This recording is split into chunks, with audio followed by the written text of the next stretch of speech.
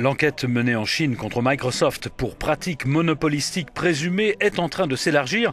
Après le système d'exploitation Windows et la suite de logiciels de bureautique Office, elle porte désormais sur les modes de distribution de son navigateur Internet et sur son lecteur multimédia. Avec Windows, Microsoft exerce une écrasante domination sur le marché chinois des systèmes d'exploitation informatique dont il contrôle 95% selon la presse spécialisée chinoise. Pékin pourrait introduire dès octobre d'ailleurs sur le marché chinois un système d'exploitation nationale pour réduire la dépendance à Microsoft.